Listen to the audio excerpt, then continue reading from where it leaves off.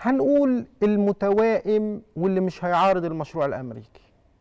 ببساطة النهارده يعني النهارده كانوا كاتبين مقال مهم في معاريف عنوانه أنا يهمني العنوان بايدن ملك إسرائيل. يعني يعني الآن منذ اللحظة 7 أكتوبر وحتى هذه اللحظة من يحكم إسرائيل هو بايدن. واللي بيحدد القرارات بايدن. ليه؟ لأنه بايدن عنده مشروع لا يمكن أن يتم بدون إسرائيل.